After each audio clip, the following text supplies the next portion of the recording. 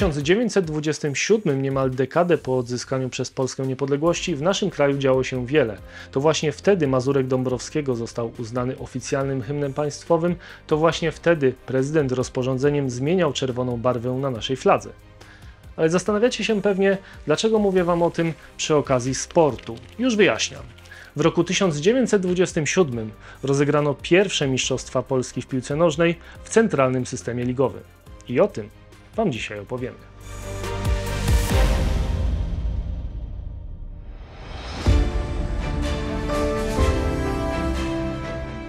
Już w październiku 1921 roku redaktor naczelny przeglądu sportowego sformułował na łamach gazety projekt utworzenia Centralnej Ligi Państwowej, w której zagrać miałoby 10 najlepszych polskich klubów.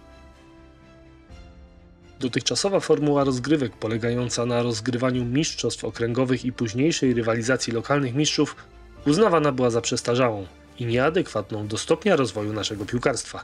Jednak ze względu na to, że sprawdziła się w pierwszych latach odrodzonej II Rzeczypospolitej, na jej straży stał Polski Związek Piłki Nożnej. W dniach 20-21 grudnia 1919 roku odbył się w Warszawie zjazd założycielski Polskiego Związku Piłki Nożnej. Jednym z jego najważniejszych postanowień było zorganizowanie już od 1920 roku rozgrywek o Mistrzostwo Polski. Obszar kraju został podzielony na pięć okręgów, które w rozgrywkach wiosennych miały wyłonić swoich mistrzów, a następnie te drużyny na jesieni miały między sobą rozstrzygnąć kwestię mistrzostwa. W 1922 roku tych okręgów było już 8, a od 1923 9. Ten system rozgrywek dość szybko poddany był krytyce. Przede wszystkim dlatego, że poziom piłkarski w poszczególnych okręgach był bardzo różny. W finałowych meczach o mistrzostwo uczestniczyły stosunkowo słabe zespoły z okręgów wileńskiego czy lubelskiego, które znacząco odstawały poziomem od rywali. Natomiast podnoszono argument, że w okręgu krakowskim czy lwowskim jest kilka drużyn na poziomie wyższym niż mistrzowie niektórych okręgów. I tak na przykład w Krakowie, w zależności od sezonu, z rozgrywek jesiennych wykluczona była Wisła albo Krakowia. W Lwowie czarni rok w rok byli słabsi od pogoni, jednak na pewno byli lepsi od większości drużyn w kraju. Właśnie ta dysproporcja sił między mistrzami okręgowymi a niezakwalifikowanymi zespołami była głównym powodem poszukiwania innego systemu rozgrywek o mistrzostwo kraju. Ten system rozgrywek został dość szybko poddany krytyce. Przede wszystkim dlatego, że poziom rozgrywek w poszczególnych okręgach był bardzo różny.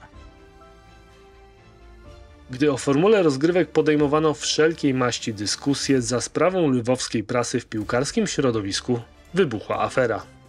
W listopadzie 1925 roku list byłego trenera Hazmonei Friedricha Kera zachwiał ideą sportu. Z relacji Kera wynikało bowiem, że jego byli podopieczni byli za występy na boisku wynagradzani, co wiązało się z zakazanym wówczas w naszym kraju piłkarskim zawodowstwem. PZPN powołał specjalną komisję mającą wyjaśnić tę bulwersującą sprawę. Takie postępowanie nie było przypadkowe. Po cichu liczono bowiem, że cała sytuacja osłabi lwowski futbol, więc większość podejmowanych działań i przesłuchań prowadziła do udowodnienia postawionego zarzutu.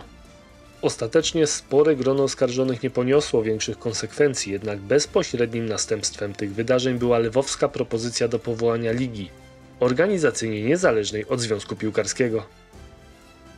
Na początku 1927 roku PZPN podjął decyzję o rozpoczęciu rozmów z ligowcami w celu osiągnięcia porozumienia i opracowania ram wspólnego projektu.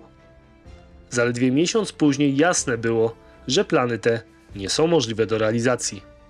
Po wielu burzliwych dyskusjach i zaognieniu konfliktu ligowcy uchwalili utworzenie nowego związku pod nazwą Polska Liga Piłki Nożnej, występując tym samym ze struktur PZPN z początkiem marca.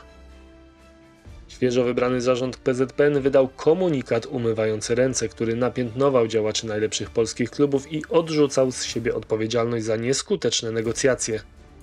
Walka rozpoczęta początkowo o zmianę systemu rozgrywek i mistrzostw Polski zmieniła się w batalię o supremację pomiędzy Ligową Warszawą a Związkowym Krakowem.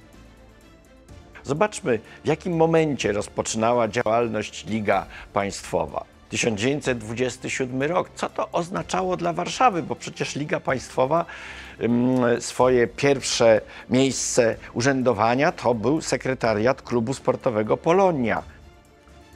W jakim momencie dla stolicy to miało miejsce? Otóż w rzeczywistości futbol nie mógł się rozwijać bez żadnych przeszkód, bowiem brakowało stolicy stadionów, na których można byłoby rozegrać mecz piłki nożnej, zwłaszcza reprezentacyjny mecz piłki nożnej. Jeśli uświadomimy sobie, że w 1927 roku, mówimy o początku tego roku, a więc właśnie kiedy wówczas powstawała Liga Państwowa, Warszawa dysponowała raptem czterema, może pięcioma boiskami, które nadawały się do tego typu rozgrywek. Ale właśnie wtedy, kiedy powstała Liga Państwowa, dojrzewały projekty otwarcia pierwszych z prawdziwego zdarzenia stadionów sportowych w Warszawie. Dalszy rozwój wypadków był już błyskawiczny. 13 marca 1927 roku obradowały jednocześnie trzy odrębne organizacje, które kierować miały sprawami polskiego futbolu. Podczas walnego zgromadzenia ligi przedstawiciele 14 dotychczasowych klubów ligowych wybrali zarząd i prezesa, zatwierdzili statut lig okręgowych i wyznaczyli termin zgłaszania się zespołów do nowego sezonu. Z kolei na zjeździe PZPN zdyskwalifikowano przedstawicieli i zawodników tychże 14 zespołów, grożąc wykluczeniem ich ze struktur PZPN, jeśli nie zrezygnują ze swoich planów. Prawdopodobnie już wtedy osiągnięcie porozumienia było niemożliwe. Pomimo kilku kolejnych prób, żadna z nich nie okazała się skuteczna. Tym sposobem 3 kwietnia ruszyły rozgrywki ligowe, które od pierwszej kolejki cieszyły się sporym zainteresowaniem.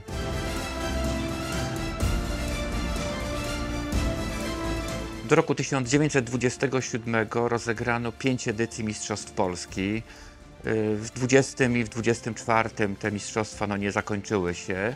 Podobnie było w roku 1927, kiedy rozgrywki pod auspicjami Polskiego Związku Piłki Nożnej odbywały się w okręgach, natomiast turnieju finałowego nie rozegrano. Wtedy też równolegle te najsilniejsze kluby, z wyjątkiem Krakowi, utworzyły Polską Ligę Piłki Nożnej. W miarę upływu kolejnych miesięcy działacze socjalistyczni Warszawy coraz bardziej krytycznie spoglądali na zamach majowy, aż e, PPS przeszedł do opozycji.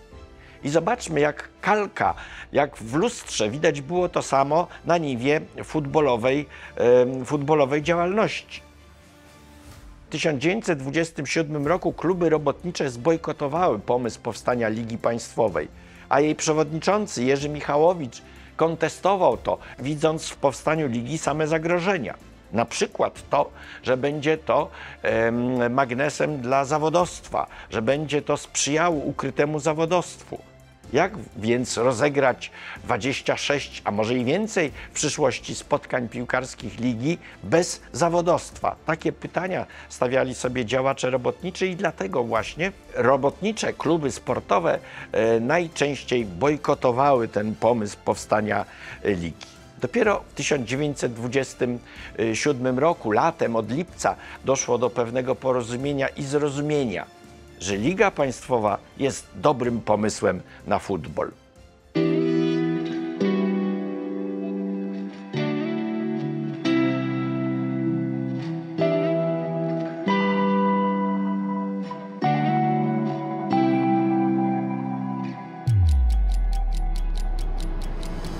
Znajdujemy się w Łodzi przy ulicy Wodnej.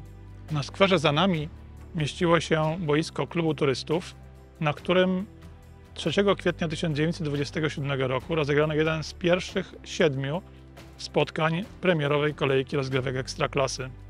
W 2012 roku odsłonięto tu obelisk upamiętniający rozegranie pierwszego meczu i zdobycie pierwszego gola. Czy jednak napisy na pamiątkowej tablicy są zasadne? Przez wiele lat nikt nie próbował ustalić, kto był strzelcem pierwszego gola.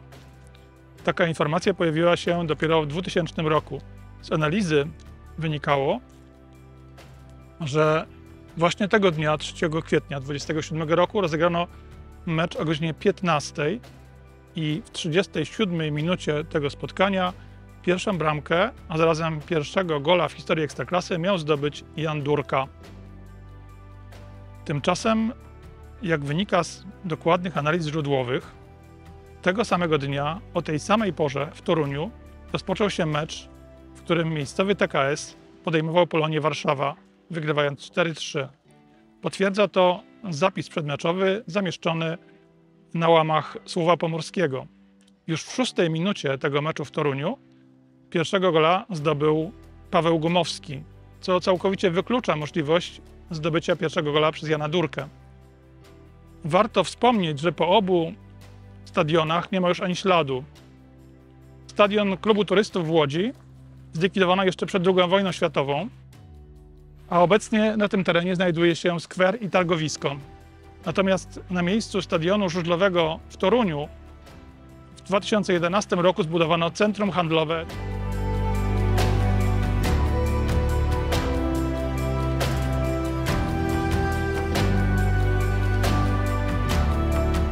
Przystępując do pracy nad cyklem Polska Liga Piłki Nożnej, nie zdawaliśmy sobie sprawy, jak niedokładny i niezadowalający jest stan wiedzy o tych rozgrywkach, jak wielką stajnią Augiasza są umieszczone w różnych opracowaniach dane o ligowej rywalizacji.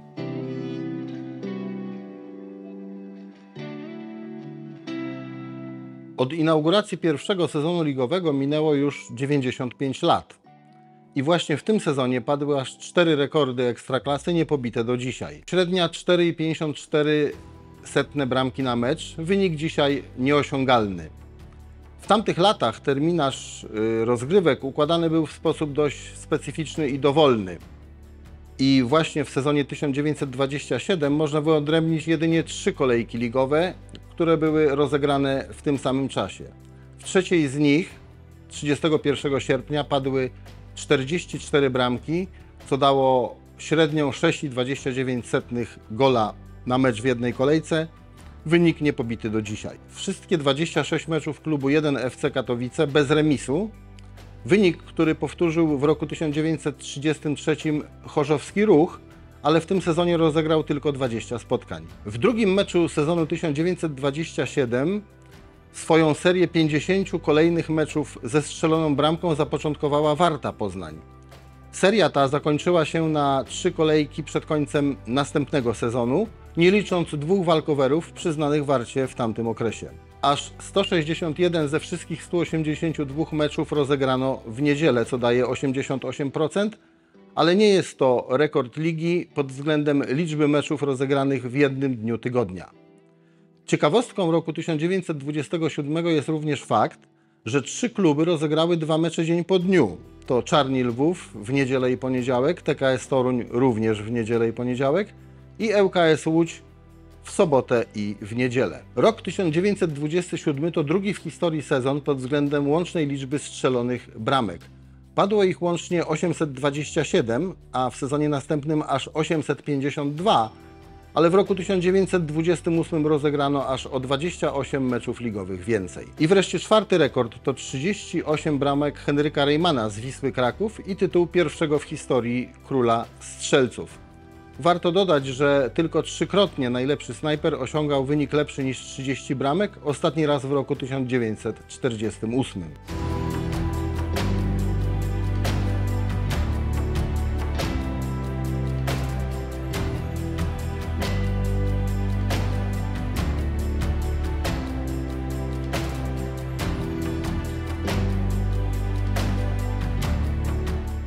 Początek sezonu 1927 wcale nie wskazywał, że Henryk Rejman zdobędzie koronę króla strzelców. W pierwszych 10 meczach Wisły Rejman zdobył zaledwie 6 bramek, choć wystąpił tylko w 8 z tych 10 spotkań. Wszystko tak na dobrą sprawę rozpoczęło się od meczu 10 kolejki z 1 FC Katowice. To był mecz niezwykle istotny dla układu tabeli, ponieważ Wisła była owszem wówczas liderem, natomiast wyprzedzała FC Katowice tylko o 3 punkty, mając 3 mecze rozegrane więcej. W tym meczu dziesiątej kolejki Wisła wygrała z 1 FC Katowice 3 do 0. Henryk Rejman strzelił jedną z trzech bramek. Katowiczanie grali w tym spotkaniu dość brutalnie. Rejman w 75 minucie musiał opuścić boisko. E, powrócił na nie, bo jak wiadomo wtedy nie było zmian. E, zainicjował e, kolejną ofensywną akcję Wisły, no i Wiślacy podwyższyli na 3 do 0. Zwiększyli przewagę nad 1 FC Katowice i to był taki przełomowy moment, e, jeśli idzie o strzeleckie popisy Henryka Reymana. W meczu 11 kolejki Wisła pojechała do Warszawy na mecz z Warszawianką i w tym spotkaniu Henryk Reyman po raz pierwszy w rozgrywkach ligowych zdobył dwie bramki. Wisła wygrała 2-0, E, W następnym meczu Biała Gwiazda grała w Toruniu z TKS-em i wygrała 7 do 2 i w tym meczu Henry Greyman po raz pierwszy ustrzelił ligowego hat-tricka, co jest zupełnie niezwykłym osiągnięciem. E, Udało mu się to uczynić zaledwie w 23 meczach, bo Ekstraklasa ówczesna liczyła 14 zespołów. E, Jak nie trudno policzyć, e, 26 meczów rozgrywały poszczególne zespoły w całych rozgrywkach, natomiast w trzech z nich Rayman nie wystąpił.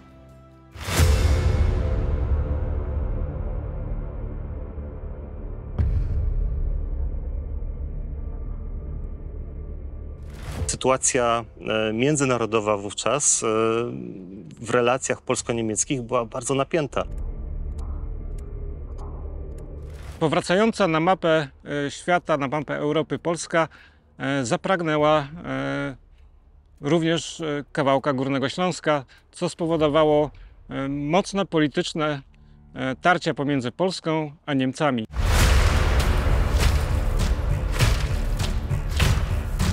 Rozgrywki w 27 roku tak się ułożyły, że kluczowe dla losów tytułu mistrzowskiego znaczenie miał mieć bezpośredni mecz pomiędzy Wisłą Kraków i 1 FC Katowice. Zaproszenie drużyny pierwszego FC Katowice do nowo powstającej ligi nie było tak oczywiste. Drużyna katowicka pierwotnie podczas powstania przejęła nazwę FC Preußen Katowic i była typowo niemiecką drużyną zorganizowaną na Górnym Śląsku. Do wybuchu I wojny światowej jakiekolwiek narodowościowe animozje nie były tak widoczne. Zupełnie zmieniło się to wraz e, z końcem tejże wojny, kiedy ruchy narodowościowe, narodowościowo-wyzwoleńcze ogarnęły całą Europę. Pamiętajmy, że raptem kilka lat wcześniej Polacy i Niemcy walczyli o przebieg tej granicy. E, Sam Henryk Reimann, który teraz miał poprowadzić atak Wisły, walczył w powstaniach e, śląskich. W 27 roku e, dalej sytuacja e, gospodarcza pomiędzy Polską i Niemcami była e, napięta. E, Dalej były kwestie potencjalnej rewindykacji granicy Rzeczpospolitej. To wszystko e, stanowiło kontekst e, tego meczu i sprawiało, że dla całego polskiego społeczeństwa e, to spotkanie było elektryzujące. Uważana za najmocniejszą drużynę z Górnego Śląska, pierwszy FC Katowice przed rozpoczęciem rozgrywek ligowych wzmocnił się wracającym po karencji za zawodowstwo Emilem Gerlicem, znanym bramkarzem, pierwszym górnoślązakiem w reprezentacji Polski. Miesiąc później do drużyny dołączył Geisler, piłkarz kolejowego KS Katowice. Były również ubytki. E, Z drużyną pożegnał się Emil Rauchmal, e, bardzo znany trener pochodzenia węgierskiego, który opiekował się drużyną katowicką od kilku lat. Początek rozgrywek był bardzo obiecujący dla drużyny katowickiej. Szereg wygranych spotkań, e, efektowne wygrane, tylko pięć porażek powodowały, że przed meczem z Wisłą Kraków rozegranym 25 września e, drużyna katowicka miała minimalną stratę punktową do liderującej Wisły, a ewentualne zwycięstwo mogło przesądzić o mistrzostwie Polski dla niemieckiej drużyny z Katowic. Szacuje się, tak górna granica e, w relacjach prasowych mówi, że nawet 25 tysięcy widzów e, przybyło e, na stadion w Katowicach, by to spotkanie oglądać. 25 tysięcy to frekwencja i dzisiaj bardzo dobra, a w tamtych czasach liczba wręcz niebotyczna. Oczywiście byli miejscowi kibice, ale przyjeżdżali też e, Niemcy z pobliskiej granicy. E, Przyjechało też wielu Polaków z Krakowa, z innych miejscowości. Zainteresowanie było tak wielkie, że organizowano nawet pociągi specjalne właśnie dla fanów wybierających się e, na to spotkanie. E, No i też nie powinno być żadnym zaskoczeniem, że atmosfera e, na trybunach była e, niezwykle napięta już przed pierwszym gwizdkiem sędziego. Kibice z Katowic słynęli z tego, że potrafili wytworzyć bardzo gorącą atmosferę, no niekiedy określoną wręcz szowinistyczną, taką też agresywną w stosunku do przyjezdnych. Wywierali wielką presję na, na drużyny gości, tam nikomu nie grało się łatwo. E, No a na Wiśle tutaj e, można powiedzieć bez e, cienia przesady, chociaż z pewnym patetyzmem, że na jej barkach spoczywał ciężar tego, by obronić honor sportu polskiego. Coraz więcej pojawiało się głosów, że niemiecka drużyna nie powinna wygrać pierwszych rozgrywek ligowych piłkarskich organizowanych w Polsce. Podkreślano, że istnieje mm, nie, zła atmosfera wokół tego spotkania, że posądzano drużynę katowicką o mm, dość agresywne podejście do swych rywali, że będą zorganizowane jakieś bojówki na spotkaniu. E, I to powodowało, że mm, polityczny aspekt spotkania zaczął górować nad tym sportowym. Zarzewiem konfliktu polsko-niemieckiego w, rozgrywkach ligowych były wydarzenia podczas spotkania w Łodzi pomiędzy klubem turystów Łódź a pierwszym SC Katowice. Wówczas arbiter kontrowersyjnymi decyzjami, według katowiczan, e, skrzywdził drużynę gości i odebrał im cenne dwa punkty. Przypomnijmy, że wówczas osiem, przed 18 kolejką spotkań e, drużyna z Górnego Śląska liderowała tabeli, a ewentualne kolejne punkty przybliżyłyby ją do mistrzowskiego tytułu. Nieuznany gol, wyrzucenie z boiska starszego z braci Kossoków spowodowały dosyć mocny atak ze strony katowickiej pracy. Nie miałoby to być może aż tak wielkiego znaczenia, gdyby nie osoba sędziego. Arbit- Arbitrem meczu w Łodzi był pan Ziemiański, e, który był członkiem Wisły Kraków.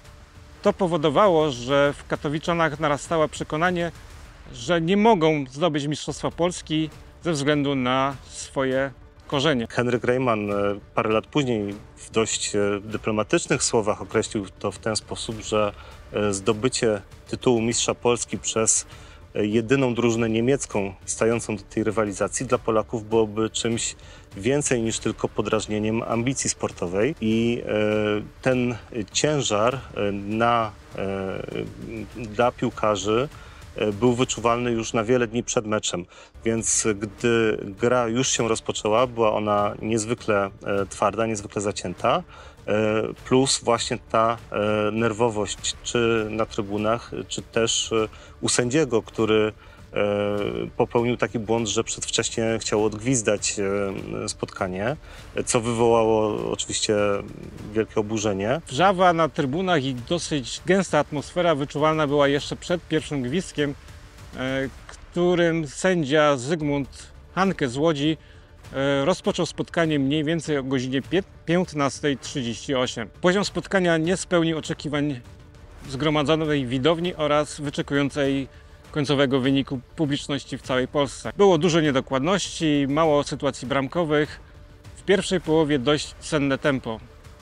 Wszystkich rozgrzała dopiero druga połowa. Jak donosiły katowickie gazety, sędzia Hanke popełnił cztery dosyć istotne błędy, następujące jeden po drugim. Faule drużyny krakowskiej odgwizdywał przeciwko katowiczanom.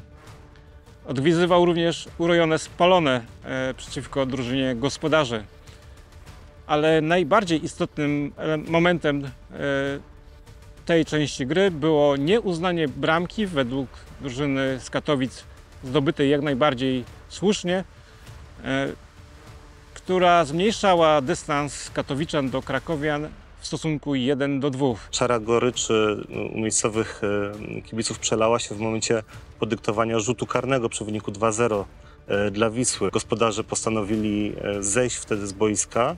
E, Były też takie sceny, że i kibice wbiegli e, na murawę, przerywając e, całą sytuację. Musiała interweniować policja. Na murawie boiska pojawiła się grupa około 200 żołnierzy uzbrojonych w karabiny, która zaprowadziła porządek. Kolejny ogromny błąd sędziego Hanke przesądził o zakończeniu spotkania. W 78 minucie błędnie odgwizdał on bowiem właśnie koniec meczu. 12 minut przed zakończeniem czasu gry. Kibice z Katowic e, zmusili niemal fizycznie swoich piłkarzy do tego, aby zeszli do szatni e, i nie kontynuowali gry. Kiedy Hanke zorientował się o popełnionym błędzie, e, nakazał wznowienie spotkania, ale na boisku znajdowało się zaledwie około 6-7 piłkarzy gospodarzy. Pozostali, którzy znajdowali się w szatni, byli już nawet w strojach cywilnych. Kiedy rozległ się końcowy gwizdek, e, ponownie niezadowolona widownia postanowiła szturmować murawę. Kibice Wisły wraz e, z sędzią dosyć pośpiesznie udali się do szatni. Co ciekawe, i tu kolejna kontrowersja, w towarzystwie orkiestry 73 Pułku Piechoty, który pewnie przechodził obok wraz z tragarzami, stąd znalazł się na murawie boiska. Po meczu e, miały miejsce szczególne sceny, to znaczy e, polscy kibice, fani Wisły urządzili przemarsz, e, który był atakowany przez miejscowych, nie, nie, nie obyło się bez rzucania kamieniami. Natomiast grała też orkiestra wojskowa, wszystko skończyło się przemówieniem Henryka Reymana do zebranych kibiców w takiej bardzo podniosłej e, atmosferze. Przez całe Katowice przemierzały e, grupy niezadowolonych kibiców niemieckiej drużyny, szukających e, awantury i jakichś e, sprzeczek z polskimi kibicami, ale również zwykłymi obywatelami. Co też znamienne, ten mecz e, nie rozstrzygnął e, tytułu mistrzowskiego tak w sensie matematycznym. Jeszcze e, nie było to formalnie e, zakończone, natomiast no, zwycięzca tego pojedynku miał tytuł mistrzowski na wyciągnięcie ręki.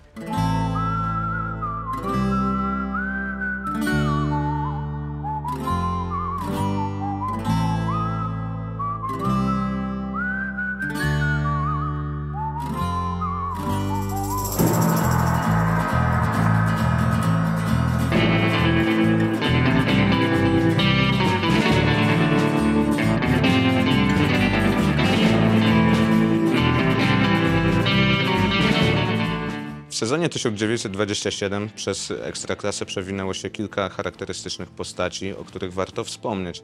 E, Niewątpliwie na plan pierwszy wysuwa się tutaj Wacław Kuchar. Według niektórych danych y, był autorem nawet czterocyfrowej liczby trafień w całej swojej karierze, ale to nie tylko piłkarz, to był ukochany sportowiec całej Polski. Słynął ze swojej y, nieustępliwości, zadziorności, z oddania dla ukochanej pogoni lwów. Mm, Miał też wiele takich przesądów, dzisiaj powiedzielibyśmy zabawnych. Y, Na przykład z domu wychodził y, na, na stadion w dniu meczu jakieś 2-2,5 godziny przed czasem, wszystko po to, żeby nie natknąć się na siostrę zakonną lub na pogrzeb, ponieważ uważał, że to przynosi pecha. Nie pozwalał sobie robić zdjęć przed meczami, także uważał, że to przynosi pecha. I cały mecz grał w jednej koszulce, y, ponieważ według niego był to jego talizman. Następna postać, o której warto wspomnieć, to Józef Kotlarczyk, filar Wisły Kraków. Przed II wojną światową nie rozegrano 300 kolejek, także nikomu nie dane było założyć klubu 300. Natomiast Józef Kotlarczyk opuścił dosłownie kilka kolejek. Uczestniczył w największych triumfach Wisły Kraków, czyli w 1927 i 1928 roku. Uważany był za najlepszego bocznego pomocnika tamtych czasów, a była to pozycja diametralnie różna niż y, obecnie. Boczny pomocnik y, służył bardziej do zabezpieczania defensywy. I właśnie chwalono jego znakomity, jak to nazywano, stopping i tackling. Natomiast on do tego dołączał też atrybuty ofensywne. Był bardzo dobrze zgrany ze swoim bratem Janem, który z kolei był środkowym pomocnikiem Wisły Kraków.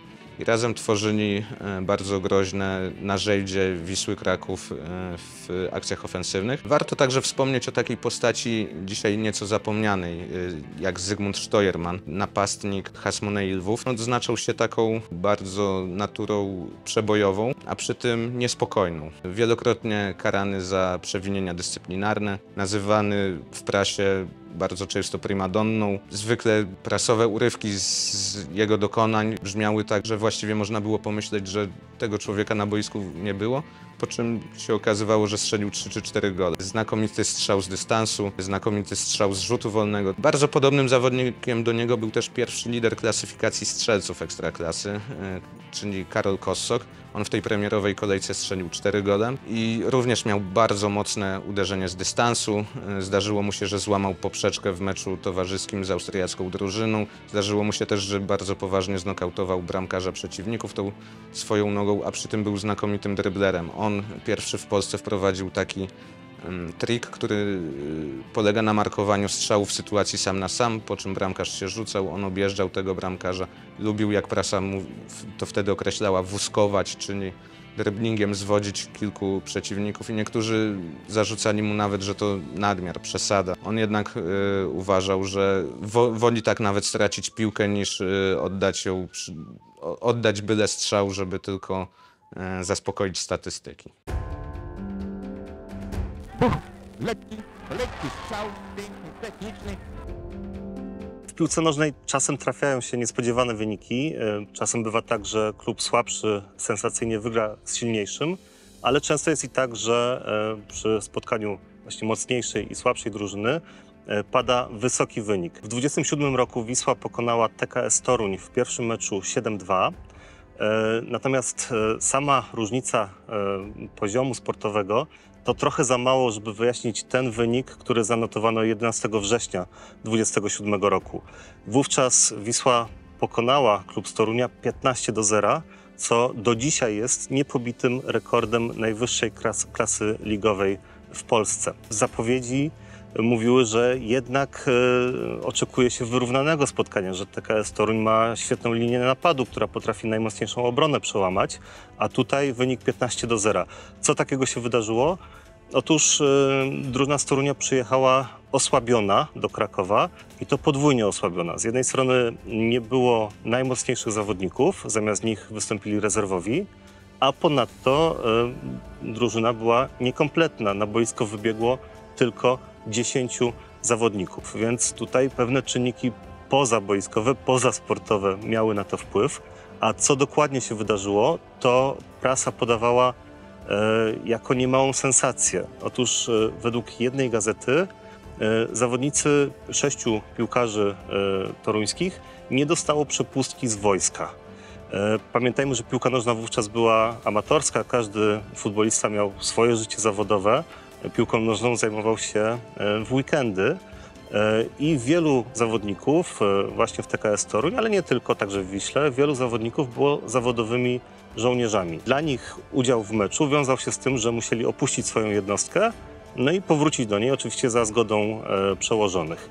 E, No i właśnie sześciu zawodników z Torunia miało takiej przepustki nie otrzymać. Natomiast jeszcze bardziej sensacyjna wersja, podana przez inną gazetę, brzmi tak, że ich przepustki były jak najbardziej prawidłowe, ale na dworcu kolejowym w Toruniu zostali dosłownie zatrzymani przez żandarmerię wojskową w tym celu, by zamiast w cywilnym spotkaniu ligowym wystąpili w meczu drużyn wojskowych, bo takie rozgrywki też wówczas prowadzono i jak widać e, przynajmniej niektórzy e, wojskowi wysokiego szczebla przykładali do nich szczególną wagę. Fakt faktem, że do Krakowa TKS przyjechał e, w niepełnym składzie i dla Wisły będącej w doskonałej formie, w świetnej formie strzeleckiej, znakomicie dysponowanej kondycyjnie drużyny, ten mecz to był, to było spotkanie do jednej bramki.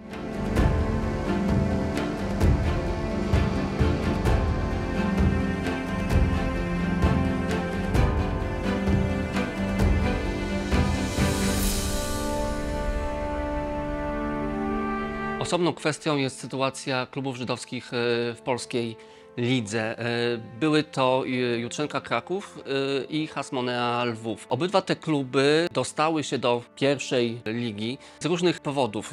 Jutrzenka jako klub, który zastąpił Krakowie po jej decyzji o pozostaniu w strukturach PZPN-u i pozostaniu przy tym systemie rozgrywek, który, za którym optował PZPN. Jeśli chodzi o Hasmone, to ten zasłużony dla Lwowa klub właściwie był obok Pogoni i Czarnych, również klubów lwowskich, inicjatorem samej zmiany rozgrywek piłkarskich w Polsce. Były to kluby o różnych, y, m, może nie światopoglądach, ale, ale o, o, o różnym podłożu e, e, światopoglądowym.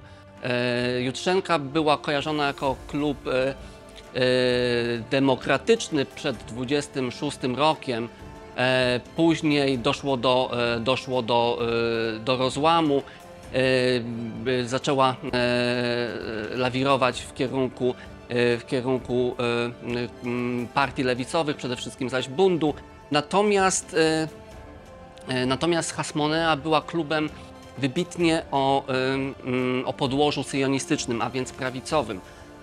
I w jednym e, z, ze starć e, meczowych e, pomiędzy Hasmoneą a Jutrzenką, zresztą meczu zakończonym remisem 2-2, e, doszło, doszło do, do utarczek słownych, później rękoczynów pomiędzy piłkarzami, co przełożyło się na krótką bijatykę na, mm, pomiędzy samymi kibicami tychże żydowskich klubów. Także musiała interweniować, interweniować policja.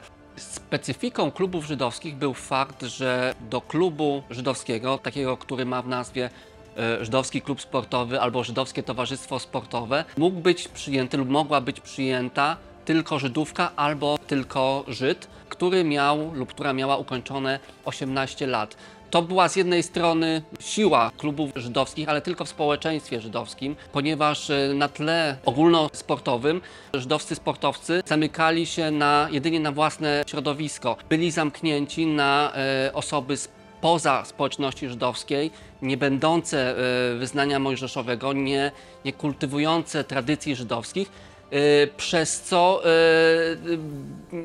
przez to wynikała właśnie ich, ich słabość.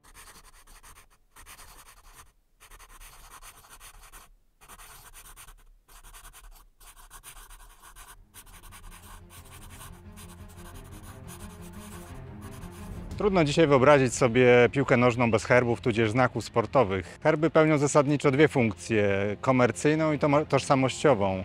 Przez y, funkcję komercyjną rozumiem bycie nośnikiem dla marki klubowej, zdolność do rejestrowania w urzędzie patentowym jako znak towarowy, oznaczanie towarów i oczywiście klubu, czyli w skrócie wyróżnianie go na tle konkurencji. Oczywiście ta funkcja nie była dostępna przed y, II wojną światową, ale możemy zauważyć, że już wówczas znaki graficzne pełniły aspekt tożsamościowy. Aż 10 klubów z 14 uczestniczących w premierowych rozgrywkach Ligi Piłkarskiej miało jako symbol literę bądź kompozycję literniczą, czyli monogram. W obecnym sezonie tylko Górnik Zabrze Jagiellonia i Warta Poznań mają herby z wyeksponowaną literą. Przed wojną były to monogramy Łódzkiego Klubu Sportowego, y, Klubu Turystów, Ruchu Wielkie Hajduki. Monogram znajdziemy także na odznace Hasmonei Lwów. Inicjałem posługiwała się oczywiście Warta Poznań oraz y, jako jeden z elementów składowych herbu Legia Warszawa, Warszawianka i Czarni Lwów. W stosunku do przedwojennych herbów dzisiejsze znaki klubowe mają bardziej złożoną formę.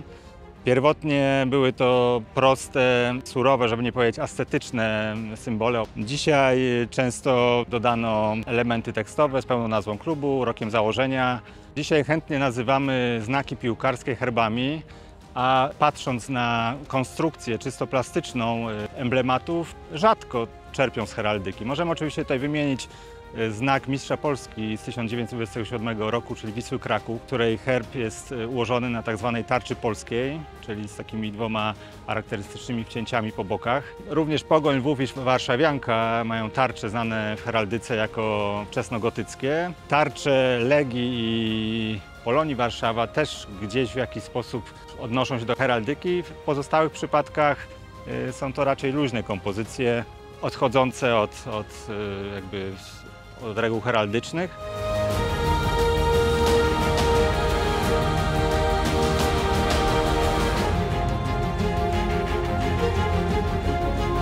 Kiedy rozgrywki premierowego sezonu Ekstraklasy dobiegły końca, w tabeli zapisano 182 spotkania i 827 goli.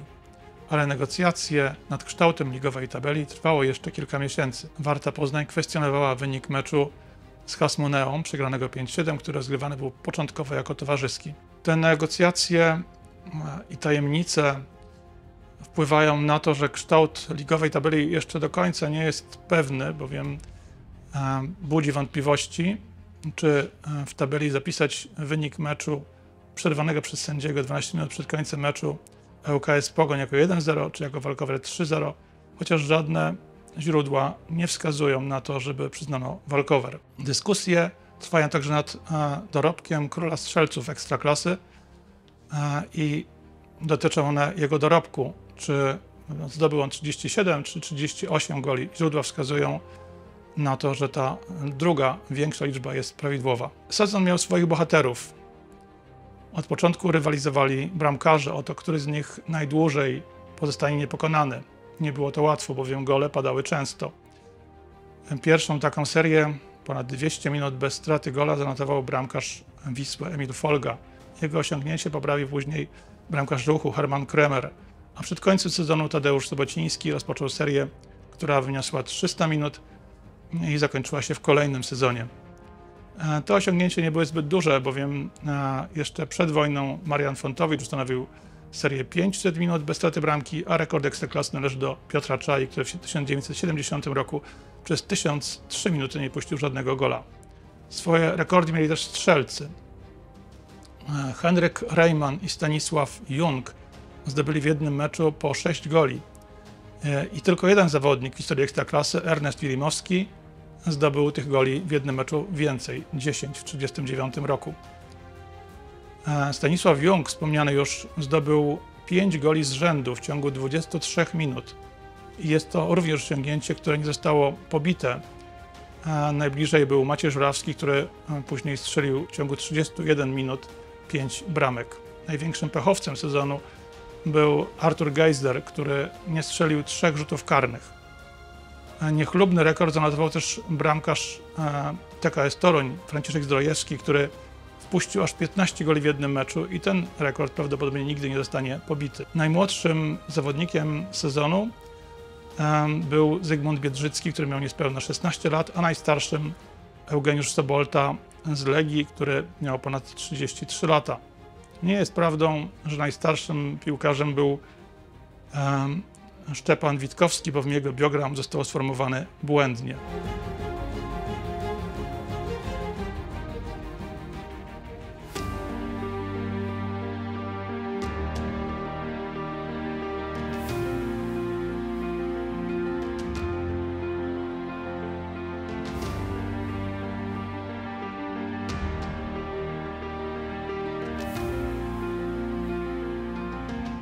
Wisły zdobycie tytułu mistrzowskiego w roku 1927 było zwieńczeniem pewnego e, procesu, który rozpoczął się kilka lat wcześniej, e, w zasadzie od zera, w zasadzie od niczego.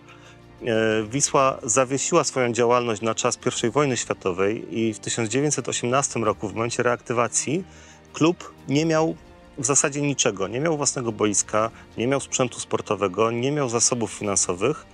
Była tylko garstka dawnych piłkarzy i e, sympatyków tej przedwojennej Wisły. E, I to ich e, staraniami, ich pracą z roku na rok klub rozwijał się i piął się w górę. I to dosłownie w każdym roku m, można prześledzić takie kolejne osiągnięcie klubu. Od otwarcia własnego boiska w 1922 roku, po Mistrzostwo Okręgu Krakowskiego w 1923, zatrudnienie pierwszego w historii e, trenera Węgra Imre Schlossera w latach 24-25, którego wpływ na taktykę, na technikę Wisły jest nie do przecenienia, e, poprzez e, zdobycie Pucharu Polski w roku 26, aż wreszcie właśnie w roku 27 e, ukoronowanie tego procesu w postaci e, sięgnięcia po mistrzostwo w pierwszych rozgrywkach ligowych wraz z e, tytułem Króla Strzelców dla najlepszego zawodnika Wisły, dla jej kapitana Henryka Reymana.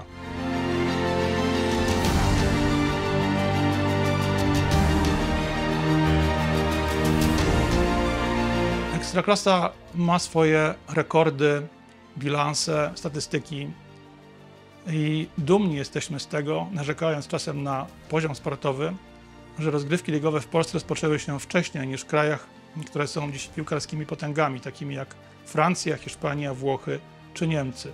Dlatego warto drobiazgowo, szczegółowo analizować jej historię.